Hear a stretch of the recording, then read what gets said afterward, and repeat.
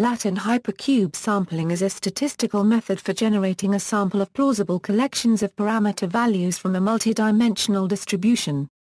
The sampling method is often used to construct computer experiments. The LHS was described by McKay in 1979. An independently equivalent technique has been proposed by Eglājs in 1977. It was further elaborated by Ronald L. Iman and co-authors in 1981.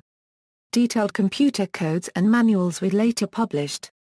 In the context of statistical sampling, a square grid containing sample positions is a Latin square if there is only one sample in each row and each column.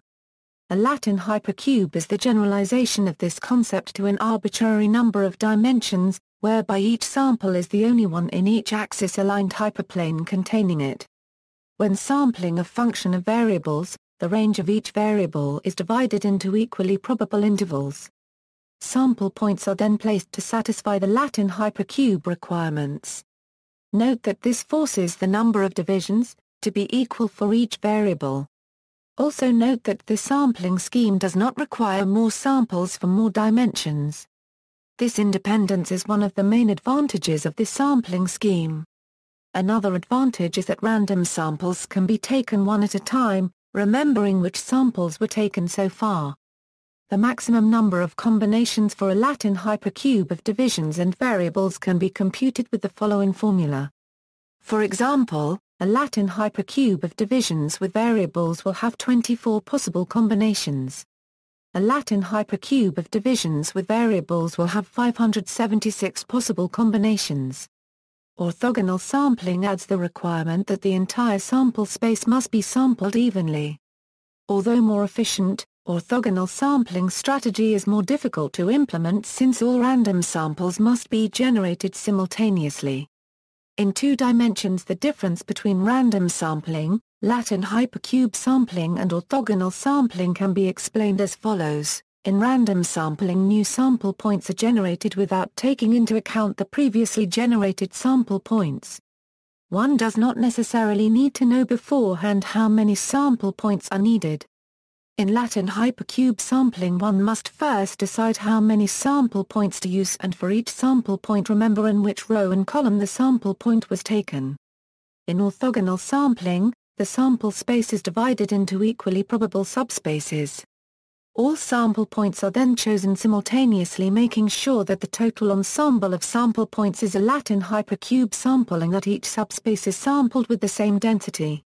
Thus, orthogonal sampling ensures that the ensemble of random numbers is a very good representative of the real variability. LHS ensures that the ensemble of random numbers is representative of the real variability whereas traditional random sampling is just an ensemble of random numbers without any guarantees. References, McKay, M.D. Beckman, R.J. Conover, W.J. A comparison of three methods for selecting values of input variables in the analysis of output from a computer code. Technometrics 21, 239 a euro 245 doi, 10.2307 slash 1268522. ISSN 0040-1706. JSTOR 1268522. OSTI 5236110. EGLAJS, v. Ords P. New approach to the design of multifactor experiments. Problems of dynamics and strengths. 35, 104 a Euro 107. Iman, R.L. Helton, J.C and Campbell, J. In Approach to Sensitivity Analysis of Computer Models, Part 1. Introduction, Input Variable Selection and Preliminary Variable Assessment. Journal of Quality Technology 13, 174 Euro 183. Iman, R.L. Davenport, J.M. Zeigler, D.K. Latin Hypercube Sampling. OSTI 5571631. Further reading, Tang, B. Orthogonal Array-Based Latin Hypercubes.